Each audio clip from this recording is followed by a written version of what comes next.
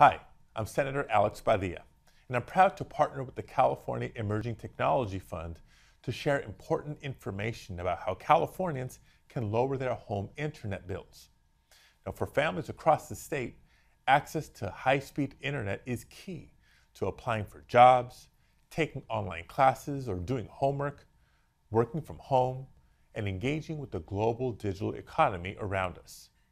But did you know you and your family could qualify for an up to $30 per month discount on your internet bills?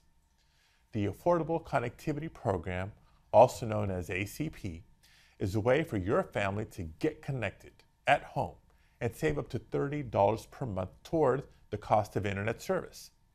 In fact, many Californians are already eligible and just don't know it.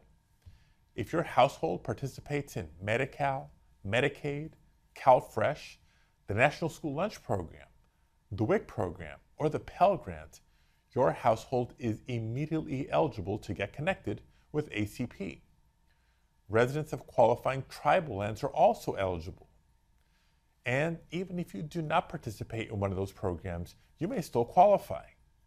To learn if you or someone you know might qualify for these monthly savings, call the Get Connected Support Center at 866 934 9405. Once again, that's 866 934 9405.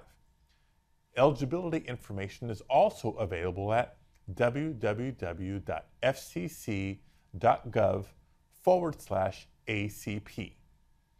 Now, this program won't last forever, so please check to see if you're eligible today and help us get the word out while it lasts so that every Californian has the resources they need to succeed.